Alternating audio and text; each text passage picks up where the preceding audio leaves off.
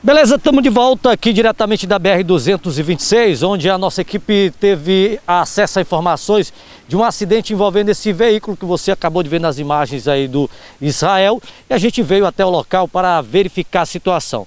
Tentamos é, ver a placa do veículo, mas aqui no local nenhum tipo de identificação. A gente observa também que tem algumas marcas é, dentro do carro. O carro está parcialmente destruído. A gente observa também é que aqui as pessoas até tentaram ó, retirar o carro do local, mas está praticamente impossível realizar esse tipo de trabalho. O acidente ocorreu durante a madrugada, o veículo perdeu o controle lá na BR, atingiu aquele, aquela árvore ali, derrubou essa outra árvore e veio parar aqui no local. Nenhuma informação a respeito do paradeiro do, do motorista, do estado de saúde também desse motorista, o que se sabe mesmo é que o carro ficou bastante estragado. E esse é o nosso flagrante aqui diretamente da BR 226 aqui em Presidente Dutra. Paulo, a gente segue com você direto dos estúdios.